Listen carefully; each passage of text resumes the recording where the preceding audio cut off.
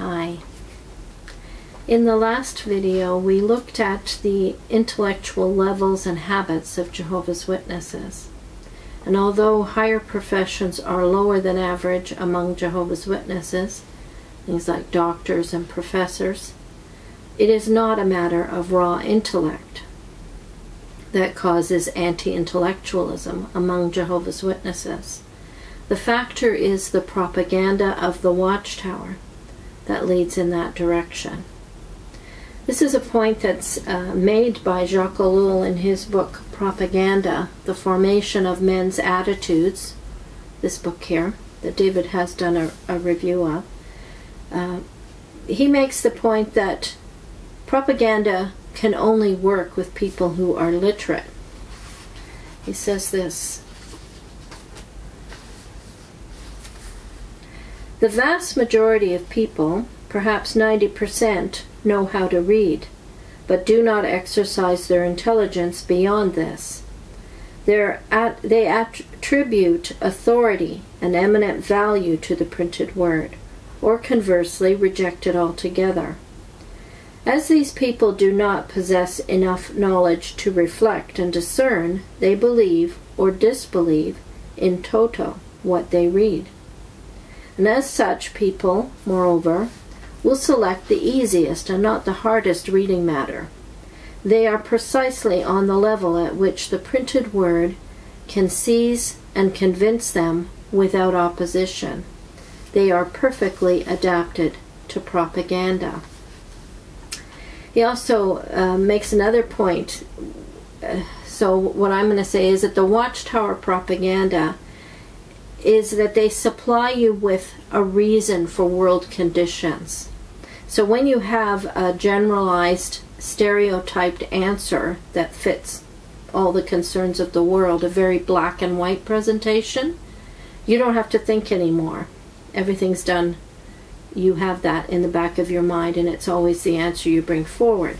So this is just a, a couple of points that are illustrated also in Jacques Ellul's uh, writings. He says this about propaganda. Propaganda must also furnish an explanation for all happenings, a key to understand the whys and the reasons for economic and political developments.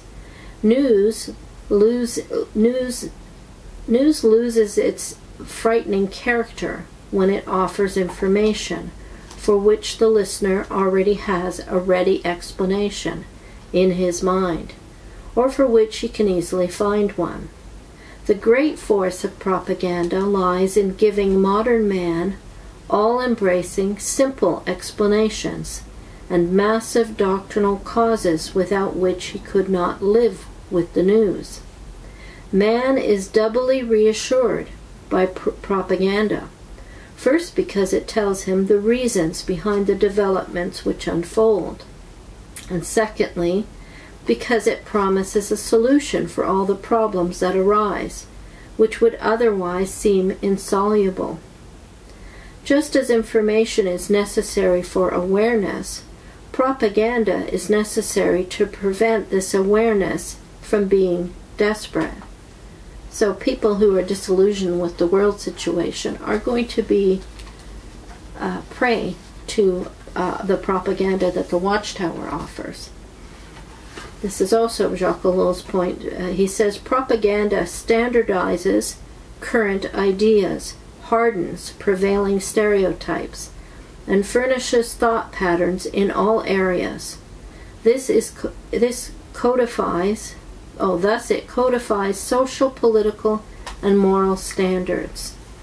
He says the stereotype which is stable helps man to avoid thinking to take a personal position or to form his own opinion. Everything's done for him. He just has to go back to the, the stereotype answers.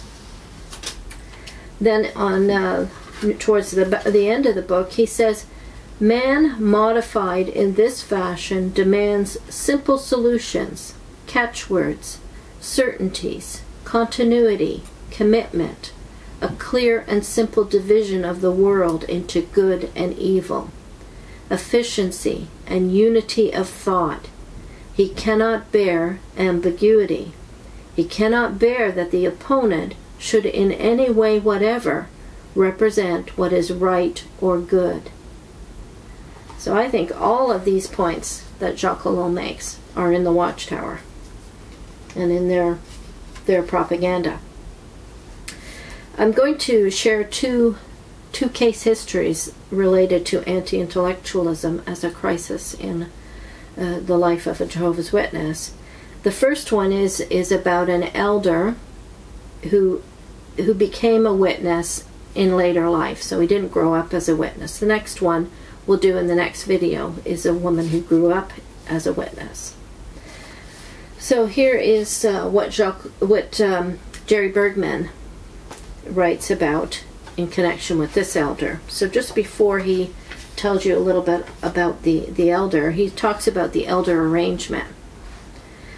The result of the constant pressure to maintain a certain image is that each elder tends to feel that he is the only one with problems, doubts, frustrations, and hostilities towards other elders, the congregation, and the Watchtower Society, when in fact these feelings are actually quite common, but hidden.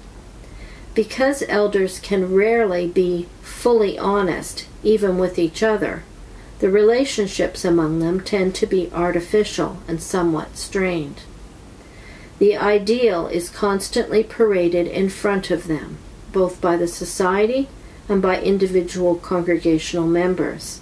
This ideal, the elders believe, is the real state of affairs.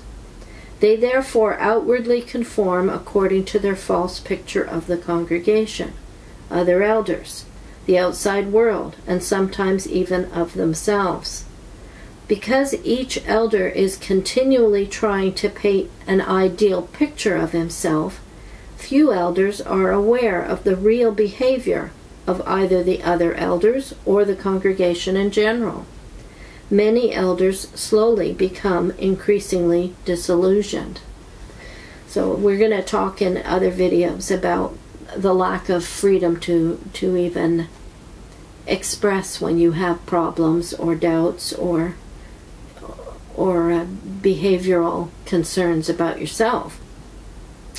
This is uh, now into the specific elder. He said, I walked out of the Kingdom Hall in December of 1984 after 14 years of association with Jehovah's Witnesses. During that time period, I had served in almost every capacity possible at the congregational level elder, ministerial servant, book study conductor, watchtower overseer, presiding overseer, I was a public speaker and gave lectures in nearly every congregation in southwestern Connecticut. I was happy at first, having thought that I had found the true religion. But then some small doubts surfaced along, the, along with a growing discomfort with the oppressive, dogmatic, dull, repetitive writing style of the Watchtower magazine. Though I did not know why, I was becoming increasingly suspicious of the phrase God's organization. I found myself downright critical of modern day fulfillment. Each meeting became harder and harder to go to. The final straw came when I attended the School for Elders in 1984. We spent nearly an entire day discussing the organization's meaning of the term approved associate. For two days we met and learned absolutely nothing of any real value. This was followed almost immediately by a visit from the circuit overseer. He was a hard-line organization man.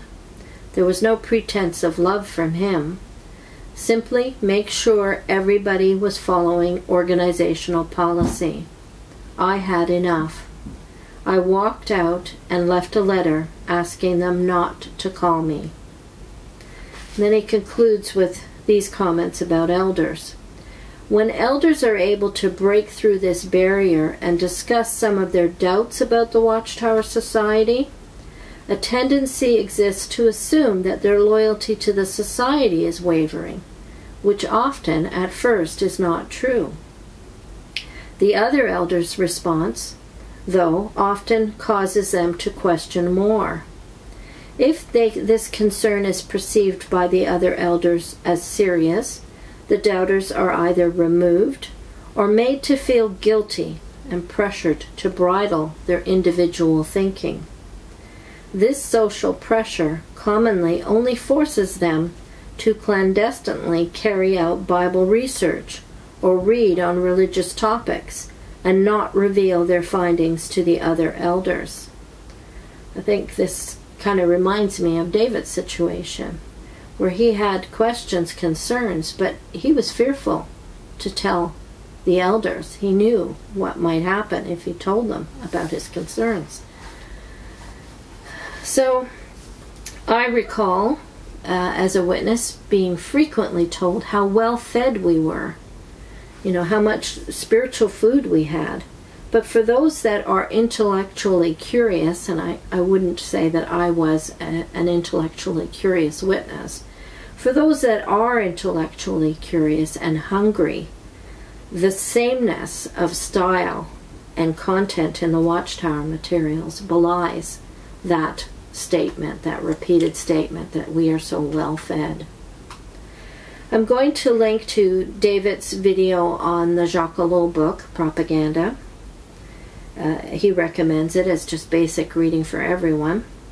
And then uh, I will link to the playlist on cults and propaganda. We have uh, 116 videos in that uh, playlist.